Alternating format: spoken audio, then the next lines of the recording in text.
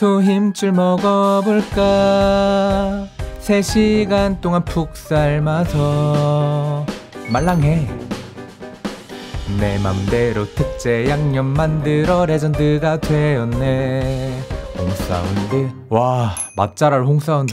좋아요 안녕하세요 홍사운드입니다. 오늘은 짠! 소 힘줄을 먹어보도록 하겠습니다. 이 소 힘줄은 인터넷으로 구매를 했고요. 조리하는 법은 되게 간단하더라고요. 그냥 좀 담가서 핏물을 빼준 다음에 물에 넣고 끓이면 되는데 뭐 마늘이나 파나 월계수잎 등등등을 넣고 끓이면 더 맛있다고 하는데 저는 마늘만 촤르 해가지고 보통 1시간 반 이상 끓여야 부드럽다고 해서 한 2시간 정도를 끓이고 열어보니까 아니 물이 다 날라가 있는 거예요. 그래가지고 아, 왠지 윗부분이 좀 아직 딱딱한 느낌이 있어서 물을 다시 붓고서는 더 끓였습니다. 그래서 저는 총 한 3시간 정도를 그냥 푹 끓였습니다. 그리고 다 끓인 다음에 건져서 이제 써는데 와 진짜 너무 부드러운 거예요. 그래서 어 이 정도면 그냥 들고 뜯어 먹을 수도 있을 것 같은데 하는 느낌이 들어서 잘게 썬 것도 있지만 큼직큼직하게 몇 개는 썰어서 준비를 해봤고 요거 이제 좀 매콤하게 하기 위해서 고춧가루, 간장, 뭐 다진 마늘, 고추장 등등등을 제 맘대로 이것저것 넣어서 양념을 해봤는데 진짜 맛있더라고요. 그리고 여러분들이 정말 좋아하시는 소리인 팽이버섯도 같이 준비를 해봤고 주먹밥 빠질 수 없잖아요. 근데 좀 귀엽게 하기 위해서 토끼 모양으로 한번 만들어 봤습니다. 그리고 요것들을 마요네즈랑 체다 치즈에 이렇게 같이 곁들여서 먹으면 맛있지 않을까 해서 같이 또 준비를 해봤습니다. 자,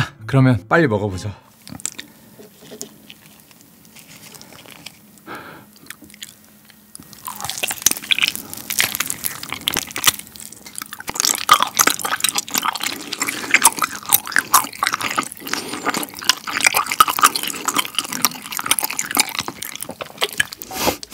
뭐야 이거?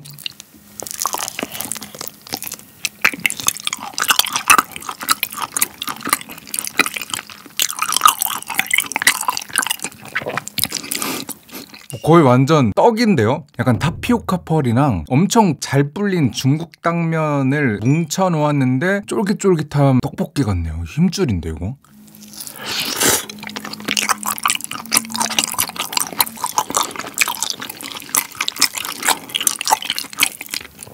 아니 그럼 마요네즈 잘 어울리겠지 당연히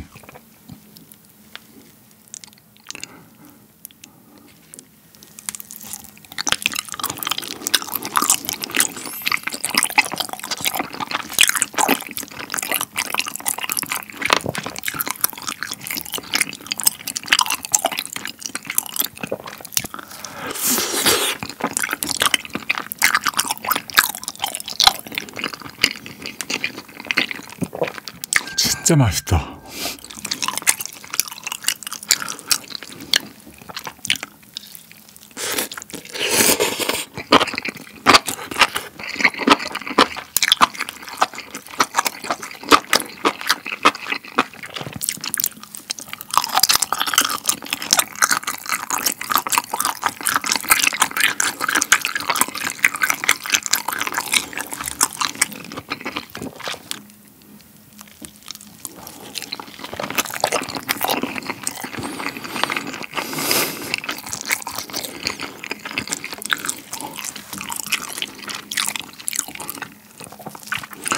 와, 소임줄이 이런 맛이었어요? 떡이랑은 좀 다른 느낌. 떡은 칼로리가 되게 높잖아요. 그래서 죄책감 있는데 얘는 칼로리가 얼마인지 모르겠지만 당면 같은 그런 쫄깃쫄깃한 식감에 그러면서 더 부드러워. 오늘 너무 맛있는데요?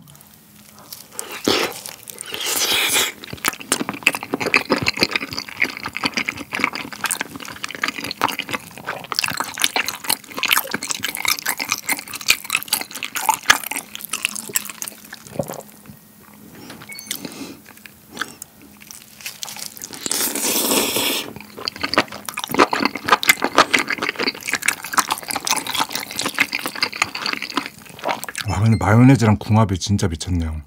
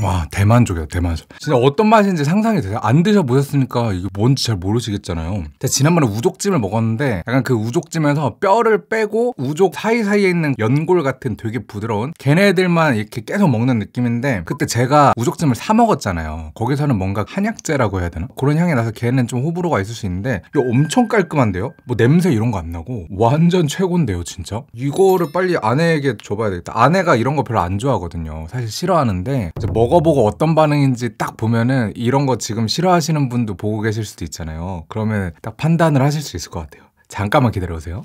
어, 자기가 약간 커플룩 같다. 아 그래? 어, 좀 커플룩 같기도 하고 여보 자, 자 이거 먹어봐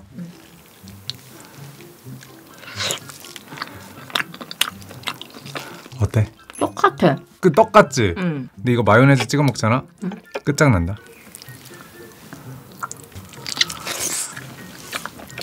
진짜 맛있지? 장난 아니지? 진짜 맛있다. 여보, 어? 야 요리 잘했다. 진짜 잘했지? 응. 엄청 잘 어울리지? 응. 음, 진짜 진짜 맛있다. 근데 마요네즈 꼭 있어야 되네. 마요네즈 진짜 맛있지? 응. 저 거의 닭발급인데? 닭발보다 맛있는 것 같아. 나. 솔직히. 아니 왜 이거를 이제 알았냐 나는 더 빨리 알았으면 자주 해 먹었을 텐데 이거. 잘 먹었습니다. 오늘 영상도 맛있고 재밌게 보셨다면 좋아요와 구독, 알림 설정 부탁드립니다. 그러면 오늘은 여기까지. 안녕.